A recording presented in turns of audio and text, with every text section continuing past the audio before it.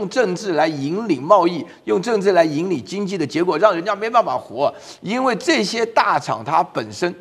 所涉及到的它的生产的话呢，原来是属于世界分工的一部分，它不卖给中国，卖给谁啊？我们要来看到的是，美国呢现在在晶片领域针对中国大陆的封堵动作，真的是一波接一波。七月三十一号传出，美方将在八月份要推出新规，也就是所谓的外国直接产品规则的扩展。要禁止多国向大约六家中国大陆最先进的晶片制造厂出口设备。那受到影响的地区包括说台湾、以色列、新加坡和马来西亚。好，不过日本、荷兰跟韩国的这些关键晶片制造设备商，他们是可以豁免的。所以呢，爱斯摩尔还有东京威力科创这些业者，并不会受到美国这项新规定的影响。那美国也计划将大约一百二十个中国实体公司要列入贸易限制的名单，包含有六家的晶片厂、设备制造商、电子设计、自动化软体供应商，那还有其他相关企业。虽然现在还没有办法确认说是哪些的中国大陆晶片厂会受到影响，但是外界猜测呢，美国的晶片令就是直指中国最大的 DRAM 制造商长兴存储。好看得出来，美国现在是倾全力在打压中国大陆的半导体，加强了出口管制，那推各种的精力，但是呢又要避免触怒到盟友。好，不过现在呢看起来打压效果好像有限，大家在说中国的半导体好像是不死鸟。岳老师您怎么看？我觉得啊，这个想要打压中国半导体的发展呢，到真的是雷声大雨点小了。为什么呢？因为大陆原来啊，我记得非常清楚。在这个二一二零一一八年以前的时候呢，大陆非常相信这个全球化的这种这种把戏了，啊，会觉得说是大陆的科技的发展的话呢，有关于这个晶片的部分的话呢，交给人家的话呢又好又便宜嘛，所以说呢，他做他自己要做的，然后大家可以分工嘛，也也也疏解一下这个贸易上的压力嘛。那突然呢，美国就发觉说是，哎，不得了了啊，这个事情要要打压，要不不准在大陆发展。我在这边提出四个理由啊，让大家一次清楚的了解。首先，第一个，我在学校就教科技哲学的，科技哲学本身，请大家了解，这个科技不管你多发达，你永远是这个发现了，你不会发明，只有上帝能发明。这个意思说什么？意思说呢，这个大家科技上有差别的话呢，只要你有足够的工程师，只要你有足够的资资源，有足够的金钱的话，你假以时日，终必有成。这个是第一点，大家心里都明白。所以说，没有人估计上说中国人就不行。啊，没没这件事情啊，就是就讲说，三到五年中国才能追得上，这个可以啊，因为讲的非常快，这是第一点。然后第二点的话呢，其实呢本身来讲啊，大家都把拘泥于什么三纳米、五纳米或什么讲的纳米，你知道三纳米是多小吗？你知道比一个头发本身还细啊，对不对？你根本就是在绝大多数的科技，像我们现在用到电脑要什么的话呢，基本上的话呢，就是大陆现有的。啊，晶片的话呢，其实也可以在应用上来讲，只是说要达到那种像是那种非常尖端的科技什么的话呢，那确实要有非常小的这种科技。但是因为有很多的方法，比如说华为的 Mate 六零 Pro 的话呢，它基本上也就是做到了自己这个五 G 的手机、五 G 的晶片当中，它也是做了一些科技上的突破。这是第二部分，在应用上来讲的话呢，最不用最最尖尖端的嘛。啊，那么这个第三个的话呢，就是说呢，它自己在规定，比如说英特尔。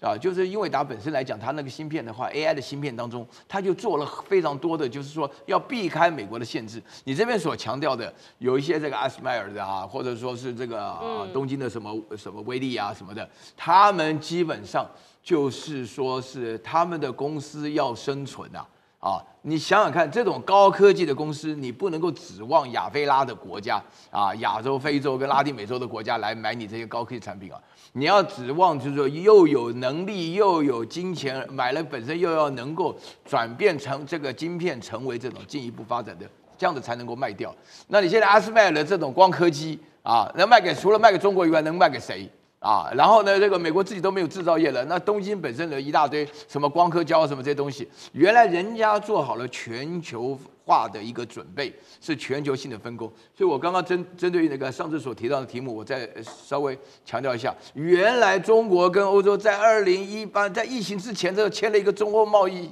中欧投资协定啊。啊，原来都已经是做好要投资，为什么现在意大利的梅洛尼跑到大陆以后，狠狠的把冯德莱恩发了封信，给骂了一顿？就是原原因就是说，你这个做法上来讲，用政治来引领贸易，用政治来引领经济的结果，让人家没办法活。因为这些大厂它本身所涉及到的它的生产的话呢，原来是属于世界分工的一部分，它不卖给中国，卖给谁啊？啊，谁有这个能力啊？对不对？所以你在这个情况呢，这不是说光吆喝一下就可以做的事情。所以说这也是无外乎说，除了立陶宛，立陶宛是非常特殊的一个情况。这波罗的海三小国恨苏联恨得要死，为了要追求自保，所以说不行，美国讲什么他都对啊。那么讲的。对，没有错了啊。那那你自己国家要干什么？但是大家要生存的话呢，谁跟你一起走？所以你说，对于这个半导体，就是美国带头对中国打压，最多三到五年啊，不会有什么具体的成果的。是好，那美国自身呢？我们要来看到这家半导体大厂 Intel，八月一号他们公布了第二季的业绩，不仅这个财报猜测都逊于原本分析师所预期的，还宣布说要裁员超过百分之十五，那也不支付二零二四年第四季的股利。现在知名的半导体分析师陆行之他就说，真的是可以用惨不忍睹来形容。好，Intel 现在陷入了困境，跟台积电没得比，而且恐怕会被超尾超车。美国政府推出了很多的政策，其实都已经在独后 Intel。那接下来上志哥，您看还能怎么救？反正 Intel 真的太惨了，你知道这个科技啊，AI，Intel 就是 AI 的，也是一个包括晶片啊等等。我都想说，我作为一个年轻人，当时在打电脑的时候，Intel 像神一样。嗯，然后现在你知道这一次八月一号它公布之后，盘后之后一度大跌百分之二十，后来修正了一点点。你难以想象哦，这个真的是现在涉及到 AI 所有产业，最近当然比较颠簸，但至少在这一年多以来是众人皆赚，Intel 得 AI 者得天下。所以所以到底怎么回事哦？但毫无疑问，大家都觉得是整个他是基辛格啦，他的 CEO 真的是有很大很大很大的问题，特别是在二这次八月一号这个大跌之后。我们先来看这个问题是说，到底跟中国有没有关系哈？嗯，其实当然现在这两天竟然出现一个我觉得很荒谬的说，是不是因为中国开始就在禁那个 Intel 的 CPU 产生影响。我听我真的是翻白眼了。你要知道，中国大陆在今年三月当中，它宣布的是政府的电脑开始要逐步的淘汰 Intel 跟 AMD 的部分的 CPU。为什么呢？因为政府很多的作业、文书作业跟档案这些东西。而你要知道，在中国大陆，你说对 Intel 影响很大吗？没有错，中国大陆现在要拉抬鸿蒙系统作为中国政府包括各方面主要的系统，但这些刚刚强调都是在作业，有关于政府的作业。你说在商务，你说百度的这些云计算，他们敢用鸿蒙吗？鸿蒙现在的状态是在作业系统各方面可以的，取代一般的所谓的这种。原来传统的 PC、微软啊这些作业，可是问题是你现在在商业的这种包括 AI 运用，你不可能鸿蒙能够取代，也包括现在 CPU 跟 GPU 自己本身也在降也在竞争，很新很新的科技现在状况，现在很多的最新顶尖的科技不需要 CPU 了，更不要说你刚刚讲微软，微软前阵子大家应该新闻都看到，它那个 CPU 哦，让很多全世界有多少的那个。呃，这个电脑全部宕机哈，真的是死去活来哦！大家真的这一波，真的是我觉得 Intel 大概有史以来从成立以来八字最糟糕的，而星或者星座最糟糕的就这时候。好，简单讲说，我觉得现在 Intel 的部分目前看起来没有任何的，包括中国市场的加持，也欠缺自己在技术、在投资各方面，全世界到处承诺要去盖厂，像包括德国都承诺，那现在全部都拖延，感觉起来 Intel 有点信用破产的感觉。技术核心技术，我们都认为 Intel 核心技术还是非常厉害，但是问题是你终究要建厂。你现在在摇晃当中，也希望不要找台积电。先前说不找代工，后来又偷偷的又找台积电代工。整个 Intel 最大的问题是它的摇摆，但是 Intel 作为美国政府最主要扶持补贴的对象，你补贴一个你你你不能说它现在就是说不可，就是说阿阿斗也不行。那么，但是他现在的这个混乱状况，我觉得现在这两天我们看到最新的，已经有越来越多风声认为你就要把 CEO 换掉，整个从头来重新打过。如果没有这样不不这样做的情形之下，Intel 大概就只是在所有一片辉煌、辉大一片辉煌的时候，AMD 赚的跟他竞争对手这么赚的情形之下，你都不知道怎么样继续跌落深渊。是好，我们来看到美国为了要围堵华为呢，在今年五月份的时候取消向华为出口某一些产品的许可证，但是美国晶片制造商高通在获得美国政府的豁免，可以继续跟华为合作。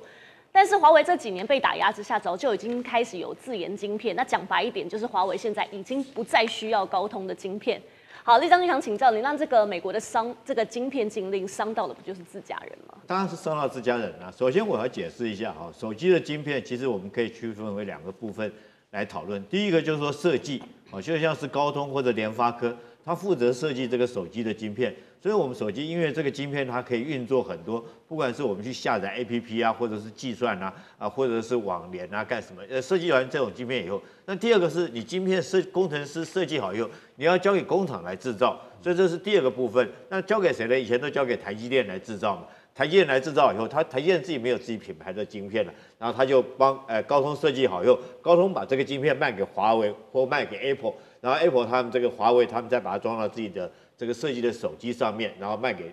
所以说有一个完整的一个大家分工合作一个供应链。那现在美国他为了说是要打压华为，他怕华为压过这个卖的比这个苹果要好，所以他就说不准你们高通或者是这些有还有我美国科技的这些公司来讲的话，把这个晶片卖给华为，不准卖给他，那逼着你华为没办法，我手机我必须要卖啊。他当后来有一阵子他没有卖手机，他去发展他的五 G 了。那在这种状况之下，华为他自己可能他就自己设计晶片，然后设计完以后，他委托谁来制造呢？委托中芯制造。那中芯这个产晶片公司来制造这个晶片来讲的话，当然刚开始大家认为说你中芯这个没有这种 EVD、E EDV 这种这个升级极紫外光机做不出来高阶的晶片，就算你设计的再好，你不见得有这种机器你就做不出来。但是没想到这个华为来讲的话，中芯晶片呢？他用这种呃呃这个重复不断的曝光，就像是我讲一个简单的道理，就是呃，假如说我们照一张相片之后，对不对？我们把它放大，再照一张，再把它放大，再照一张，那可能良率会比较低了。那可能来讲的话，它的效果这个良率没有说是刚开始第一次这个呃这个呃高显微的这种状况之下做出来效果好。可是它不管怎么样，它还是做出来，就算是良率低，它最起码七纳米。去年来讲的话，那七纳米。对华为它所需要设计的手机来讲，它的需求已经功能已经确实足够了。所以我们看到去年它的 Meta 六十卖得很好，就他故意在这个雷蒙多去中国访问的时候，他在那些呃突突袭的方式来在这个卖卖这个这个华为 Meta 六十，让雷蒙多吓了一跳，大家还戏称说是雷蒙多是代言人。那现在来讲的话，华为他们中芯科技来讲被逼着又做出更好的晶片。也就是说，可能他们研判可能有可能做到五纳米，或甚至有到三纳米的这种可能性很多。就像是苑老师刚刚讲的，这科学的东西只有说是你要不要花时间嘛？那我你给我时间，我慢慢做出来。那或许你现在进爱斯摩尔。到后以后会不会有一天，这个中国自己也做出这种光刻机？这这就很难去预测。也有可能哪一天他自己做出这种光刻机，到那个时候他可能一纳米、两纳米都会给赶得上。所以美国这时候让高通把这个晶片卖给华为，他也是不得已的措施，不然他就自己做出来了。是好，更多精彩内容，我们稍微休息一下。尽管遭到美国抵制，华为手机在大陆市场依旧畅销。根据华为公司的内部人士透露，新的旗舰手机 Pura 七零系列呢，自从四月十八号发表到七月十六号。这全系列的出货量对比 P 六零系列呢，年增了百分之一百二十五，大家都想抢当这个花粉。不过华为还是没有对外来公布正式公布说这个 Pura 七零他们到底是用哪一款晶片。不过市场上都在流传，根据这个曝光的资讯，Pura 七零系列采用的是全新的麒麟九零一零处理器，仍然是沿用先前的七纳米制程。那华为的高层余承东他曾经表示说，过去的五年就是整个团队经历到最艰难的时期。好，那舰长想请教您呢，现在是不是说明说，现在中国的这个晶片供应链已经进一步成熟了呢？嗯，的确是啊。那当初，嗯，无论是美国或者是其他欧洲国家，一直都有一种错误的认知啊。他们认为说，哎，只要为难了华为，为难了中国，那中国的这个有关于它的高科技的这个晶片需求呢，那它就可以减缓下来，然后可以，呃，无论是进行科技战也好，无论是进行贸易战也好，都可以让中国的速度不会这么快的涨，那个，嗯，超过欧美国家。但是事与愿违啊，为什么这么说呢？因为其实，呃，中国一直啊。是一头睡狮，拿破仑就说过：“小心点，不要把他叫醒了。”然后美国跟欧洲这个作为，正好就是把中国大陆叫醒了。为什么叫醒呢？原来你们就是用晶片来卡脖子，那现在的做法也就是自己来做晶片。那其实我看了非常多的中国大陆的论文，其实从北的哈尔滨工业大学一直到南，那有呃，通通都有非常多的大学。对于如何制造光刻机，他们都有非常多的论文提出。而且事实上来讲，当我们的晶片制造到两纳米以下，原来的这一个所谓的现在最新的叫做高数值孔径及紫外光的这个光刻机，也已经慢慢进入到了物理的限制。那在这个限制的时候，这个时候如果中国大陆发展出来了新的这个光刻机的技术的话，也就是我们现在看到许许多多中国大陆的很多的建设，其实都叫做嗯。它都是后发先至，也就是弯道超车，它不用去经历过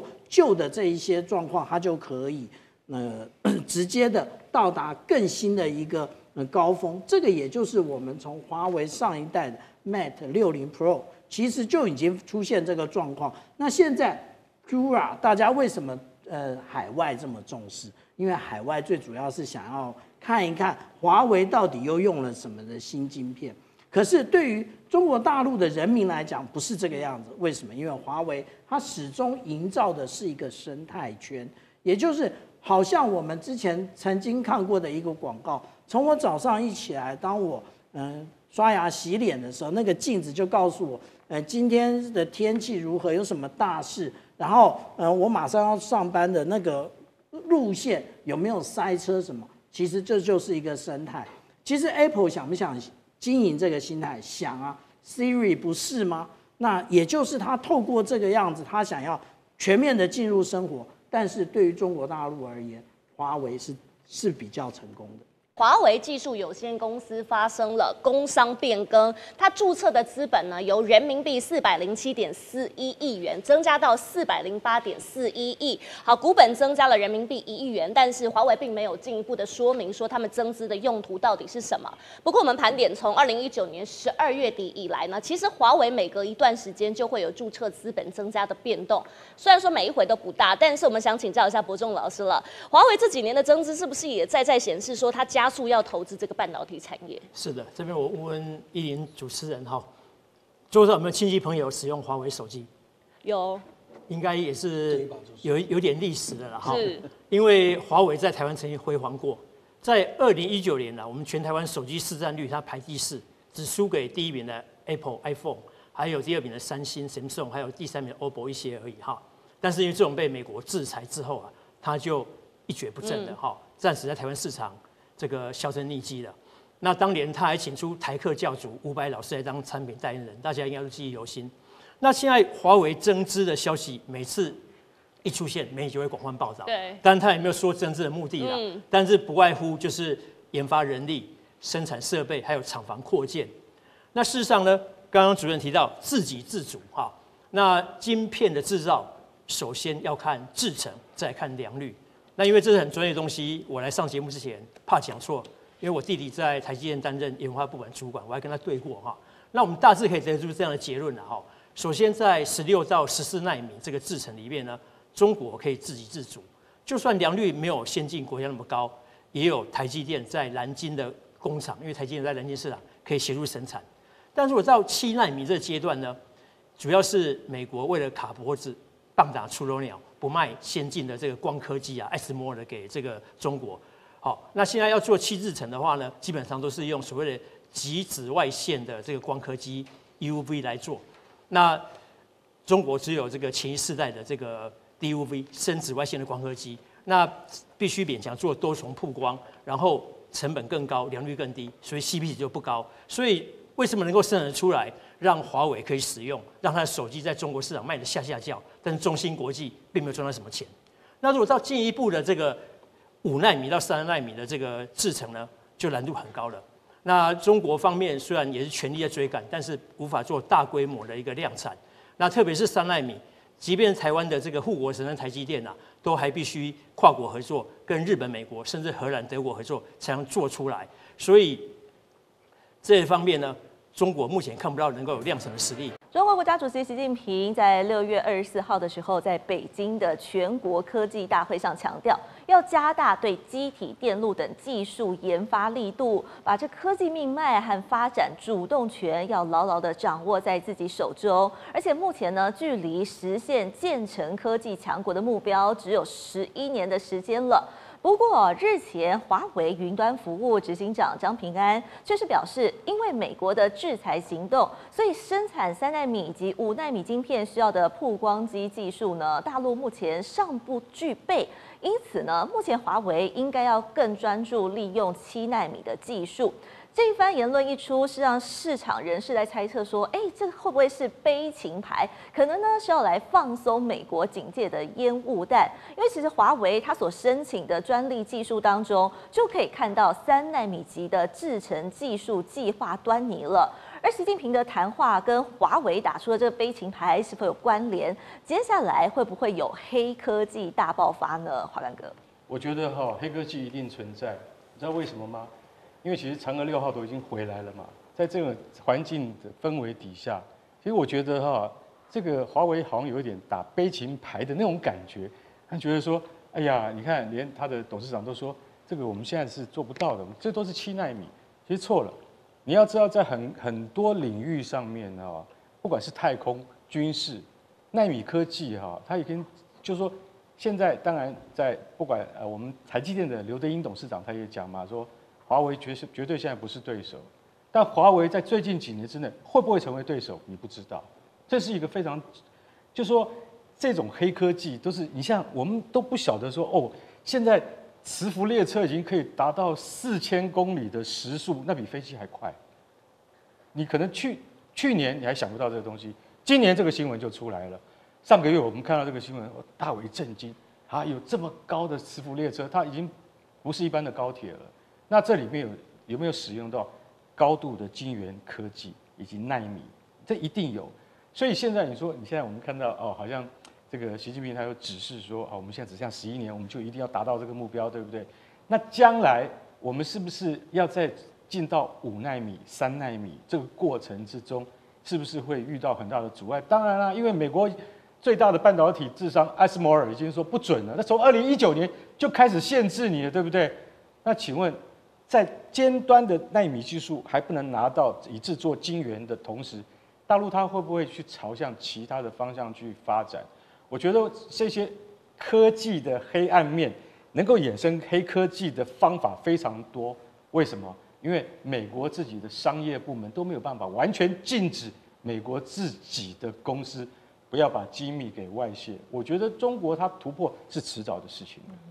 将军怎么看呢？哎，我们讲这个华为推出来的升腾九一零 B 哦，这个晶片，我们从这个晶片就看出来华为有没有黑科技。这两天好像前两天这个 呃 Nvidia 好像股价跌了不少，是不是因为华为推出来九一零 B 的关系哈？我觉得可能性非常的高哦，我这不是开玩笑。为什么我这样讲呢？当初 Nvidia 黄仁勋来台湾的时候，他推销了叫做 H 一百那片晶片，因为 AI 最新的智能晶片嘛，啊，大家都觉得说这片晶片这个很好。那那这片晶片值多少钱呢？大概一百多万。那只有谁能够用？当然是大企业它才用得到这么高阶的晶片。对。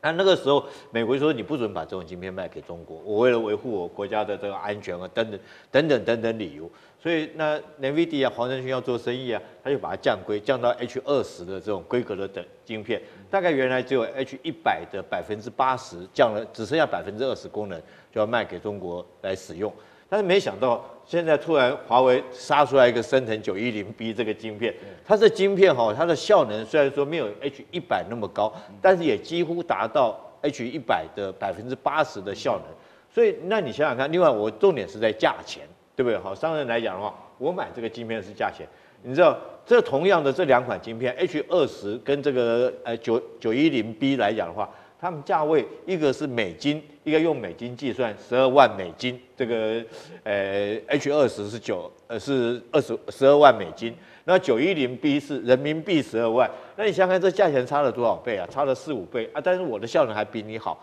所以在这种状况之下，你说百度啊、腾讯啊这些这个大企业来讲，会用哪一种科技？我当然就是去买这个呃这个华为的腾讯九一零 B 嘛，那美国自己要去想想看，如果说你一直限制这些大企业，这些不管是 NVIDIA 或者是这些大的企呃科技公司，不让他们把这些好的产品能够卖到大陆去，那你是不是逼到最后，华为他们自己做出来等效能的这些晶片，或许它没有办法达到百分之百，像 H 一百，可是它有百分之八十，它也一样达到 AI 的科技的技能，有做到这种水准。所以你这个在商言商，我一定我的想办法，我购买的东西成本来讲比较便宜啊，经济实惠，呃，实用，我觉得是最重要。那华为来讲的话，它现在又走这条路，那美国你自己要想想看，你弄到最后啊，不管是说这个爱斯摩尔的光刻机，如果说你再继续禁止它或者怎么样，我可以不用做到像你那么深，可是我一样可以做得出来，我可能多几道的程序，多几道的手续，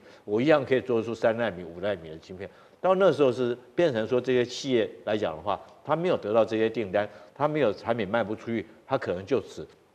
就倒掉了。我觉得这是呃全球化。如果说是你美国用保护主义来这个遏制这种全球化来讲的话，吃亏的还是美国自己。这些大企业来讲一定会吃亏的。因为华为之前也曾经因为美国的压制，它的营运有陷入过低潮嘛，结果后来它就不声不响的，哎，就突然就推出了搭载七纳米的这晶片的这个手机，就导致呢，哎，震惊了市场之后，成功的汇集人气，它的营运呢也回到了这七千亿的大关哎，所以大钟老师要怎么看？说，哎，这一次呢，华为说他们不具备生产三纳米还有五纳米晶片的技术，这番话是让美国放松警戒心，所以故意放的烟雾弹吗？嗯，应该是说他姿态比较低一些些哈，因为张平安他是华为的常务董事，也是华为云的云端事业体的负责人。先还原他的讲法是什么？他是在五月底的时候在公开场合，中国移动计算力大会所说，他说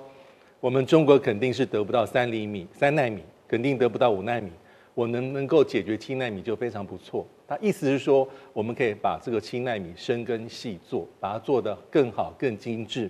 那有更好的产品，更好的产品能够满足我们客户的需求，这是当务之急、首要之务。因为的确啊，在去年八月，华为当时是推出所谓的这个 Mate 六十系列啊，搭载这个麒麟九千 S 的 晶片啊，是使用中芯的七纳米制程。当时已经是让全世界哎很好奇，有点惊艳，因为感觉起来是在。呃，美国的为首的这个压制之下，有自己走出一条路出来，所以那时候的确是让大家非常的震惊。那主要还是一个美国其实这几年的科技封锁了，尤其是对荷兰哈这个艾斯摩尔大厂里面，美国施加非常非常多的政治压力，啊，所以导致艾斯摩尔啊，它有一些产品它就自我设限，不继续出口给中国大陆紫光机 U EUV 的这个曝光机。那一般来说哈，当时，呃，大家会说哈，如果要用比较旧式的这个深紫光机啊 DUV 去做五纳米晶片，不是不可能。那的确像将军刚才所讲，但是呢，程序可能要更多一些些，成本高，耗时长。那到底有没有办法透过这个旧的机器能够生产这个五所谓的五纳米？外界是有一些不同的看法，跟不同的一些呃一些猜测跟揣测。那不管如何，我觉得目前来说，因为是外在。中国大陆受到美国很多的一个经济，呃，科技上的封锁跟压力，所以它势必得走出自己的一条路，而且不管是企业界，中国政府已经投下巨资，那接下来就是看时间，时间的问题，啊，因为未来你要能够突破封锁，必须还是要得靠自己，没有办法全部都仰仗于别人。嗯，那华干哥怎么看？哎，我看不是华为跟中兴哈，就是他们中芯国际。这两个公司其实事实上他们的合作是很紧密的，然后它有一个什么叫深紫外光微影曝光机啊，其实当时他们就在想说，呃，七纳米固好就很好了啦啊，那我们可能要到五纳米或者是更进入到三纳米是要花很长的时间，但是美国的媒体不是这样看待，他说光是这个东西哦，深紫外光微影曝光机这个东西，他们觉得很惊讶，因为这要三纳米才做得到。结果呢？他们现在在跟中芯国际的这个，就是说他们的外，就是说他们的外部的那个交谈里面，就发现说，他们其实是在往三纳米在迈进当中。那我想请问你，如果他没有五纳米的的的资格，他怎么会去想到三纳米的事情？所以大家就想说，哦，可能张平安他这样讲，他是不是以退为进？你要知道，大陆他通常都是先不把他的成果拿出来，只说我现在只在这个成果。可是它已经走到那边去了。就像航空母舰的电磁弹射，你当初也不不不会知道说三年之内可以做得出来。虽然这个已经研究十年了，但我们不认为它那么快就可以达到。那里面也有很多很高的技技术在里面，所以我认为张平安他就是以退为进。他认为说，哎，我们现在只能做七纳米，但是他现在已经有五纳米的能力，而且他往三纳米迈迈进当中，美国当地的观察家不可能会信口开河。所以我认为说，将来可能会有更大的发展，而且会有更快的突破，会让大家觉得说，哇，华为真的是一日千里，连你自己连做梦都没有梦到啊。嗯。其实这几个月来啊，美国商务部的官员是向晶片的这个设备制造商还有供应商施压，要求他们停止像华为还有制造华为的一些晶片的中国公司来销售产品的。The Information 在六月二十五号的时候是报道说，华为的升腾九一零 B 的晶片呢，AI 晶片延迟，所以可能会带给像腾讯啊、百度、字节跳动还有阿里巴巴这些公司带来一些问题。另外一方面，路透社呢也引述了消息人士指出，拜登政府正在调查中国移动、中国电信还有中国联通，担忧大陆的电信公司透过在美国的云端还有网络业务取得美国的数据，并且呢将这些数据带回北京，而且不仅如此哦，彭博社还报道说，华为在秘密资助一个由 Optica 的这个基金会所营运的研究的这个竞赛，保留了接触美国顶尖科学家资源的这个渠道。所以上述的这些状况，真的是像这个 CNN 讲的一样，恐怕会影响到美国的国家安全吗？将军？哎，我特别要讲哦，美国国家安全是什么？大概靠三个美，对，美元、美金、美债，对不对？哈，他利用他的美美军，我的军事实力。呃，来这个做石油美元，对，提供沙地阿拉伯，我提供你国家安全，然后你只能用美金来做这个美元呢，美元来做这个石油的买卖交易，然后我有这个美元的地位以后，我就可以去借钱，就是美债，然后用这个美债又来养美军，所以我觉得这三个是一个环环相扣的。可是现在很明显，它美国来讲的话，现在来讲的话，它石油美元这部分可能会会有会出了问题，因为其他的国家，包括俄罗斯，包括美国自己。也产了页岩油，然后大家也慢慢全世界有一种去美元化这种呼声。那如果说是美元来讲跟石油没办法再挂钩来讲的话，它必须什么用什么方式来维持它美元的霸权呢？我觉得就是我们现在经常听到就开始变成晶片美元，就唯有高科技等于科技美元来维持我美元的地位。那去年来讲，我们常听到的话就是说，美国在讲小院高墙。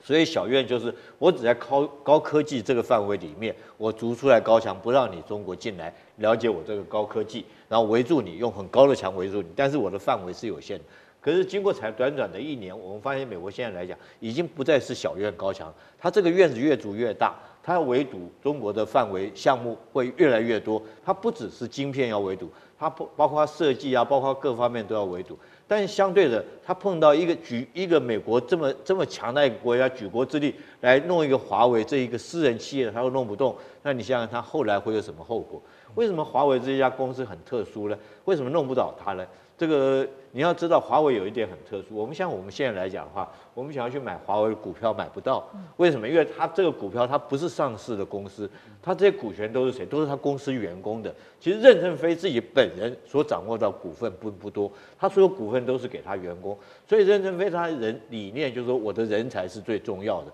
我公司可以不赚钱，但是我的人才一定要保留住。所以华为最大的资产就是他那些科学家，他那些工程师。那他还提供给这些高科技的这些人才来讲，很优厚的这些条件，将这些人才能够留下来。也因为这些人才能够留下来，他所以在各方面来讲的话，不管从这个晶片的设计，或者是说他的手机的设计制造，或者是说这个现在目前来讲的话，他像六 G 的专利权，已经是全世界最高了。欢迎回来，我们继续来关心的是美中的科技战啊。来，画面上我们看到这个专业顾问公司啊，科技顾问就是 Tech Insights，他们最新拆解了华为啊所推出的最新手机 Pura 七零系列呢，就发现说呢，在这支新的手机当中所采用的是中兴 N 加 Two 制成的麒麟九零一零啊，呃，处理器它的中央处理器 CPU 就是九零一零啊。N 加 Two 指的是七纳米制成的加强版啊。先前讲到说，华为竟然这个科技已经突破到七纳米，但这次呢是七纳米的加强版，而且呢，也看到先前呢，美国商务部长 Raimondo 在二十二号他接受美国媒体访问的时候呢，他特别点到了，他特别很自豪的说，美国的科技仍然是领先的。他说，华为晶片技术仍然比美国落后多年，而美国在创新方面已经是超过了中国大陆。现在中国大陆还落后美国有几年的时间。另外是在英国《金融时报》呢，二十五号也报道说。现在看到美国呢，用科技围堵的方式啊，要围中国大陆呢，主要是希望联手荷兰、日本跟南韩一起对大陆要再实施更严格的晶片科技还有设备相关的出口，来应对华为开发先进半导体所带来的挑战。去年底啊，这个八月份的时候呢，发表了 Mate 六零 Pro 这个手机，当时搭载的是麒麟九千 S 七纳米的晶片，而今年又看到四月份呢，发布了第一款的 AI 笔电脑 MateBook。X Pro，那这样的一个新产品当中呢，所搭载的是 Intel 的 AI 晶片哦，呃，这样的处理器，所以再再的透过这些新的产品，就看到了中国大陆不断在突破美国的科技封锁。好，所以现在问题就是说，是不是代表说美国想方设法的去围堵中国大陆啊？但是百密总有好几疏啊，围堵不了的关键原因到底在哪里？大师。我想，呃，这一次就是说，华为的这个两款手机啊，从麒麟九千到麒麟九千一哈，嗯，九零一零哈，这两款手机它都是七纳米的这个性能哈，是，所以呢，所以呢，这个就变成华为两个方面突破。第一个就是它的晶片设计，因为这个高端晶片你要设计啊，嗯，那就华为的这个晶片设计叫海思啊，它过去它的那个所谓的晶片啊，EDA 啊。就是说，晶片设计的软体啊，套装软体被美国已经四年前就已经封锁了。嗯，那照理是说设计不出来，那可是问题它设计出来了。所以就是说，晶片设计的部分啊，现在已经啊，华为已经突破了。那接下来就晶片制造，那就是说这种哈七纳米的话，照理说应该用这个极紫外光机啊，那而不是用深紫外光机可以生产出来。可是问题就是怎么讲呢？中国大陆要生产的话，摆明是用深紫外光机，而是极紫外。为什么？中国大大陆没有一台极紫外光机。是，那深紫外光机的话，能够生出在产，就是说制造出七纳米的晶片哈。到目前为止，技术怎么突破的哈？美国没有掌握。嗯，我看了很多篇文章，美国像这种什么 Tech Inside 啊，天天在登文章，他们都在猜你到底怎么造出来的。两种方向。这个哈到底是如何？没人知道。第一个就是说啊，所谓的哈，在封装时候用堆叠的方式造成的，因为现在这个封装的话是非常这种哈，所谓的这种这种哈 这种高端制程的哈，封装是很重要的。那这个封装它用堆叠的，那么把这种哈所谓的这种哈这种哈七纳米的这种晶片啊，用非传统的方式制造出来。那么另外一种就叫重复曝光。也就是说，呃，因为这个这个，所以极紫外光机它需要更精准的这种曝光哈。那现在呢，它就用深紫外光机把它重复的曝光，可是这个技术也非常困难。有人是猜是梁孟松啊，因为这个就是说梁孟松是技术的天才啊，那认为他可能在技术上做了突破。所以美国我想是猜测，就是说中国大陆在用啊深紫外光机而非极紫外光机在制程上获得的突破。所以美国已经现在要深紫外光机哈，要这个 ASML 哈停止对它维修跟提供一提供零件了。嗯，所以美国这个封锁它是抓到漏洞它就去堵。那现在问题是 ASML 不同意，说我已经签了约了，没错，对不对？我已经要给他，我这个我这个如果不给他维修不够，不给他晶片，我是我是违约。我可以不卖他最新的极紫外光机，可是深紫外光机的维修跟零件供应，我是有这个嗯。这个好契约上的义务，所以不过整个来说，就是美国现在处于一个困境，就是说，他原来认为已经让华为这个高端晶片哈，事实上已经断供了，它的整个的所谓的这个好，所以华为的这个好高端手机哈，已经在世界上已经消失了。是，没想到中国华为自己在七纳米的晶片上获得突破。对，所以这句话可以做一个结论，就是说，美国对华为的这个好高端晶片的封锁啊。已经失败了，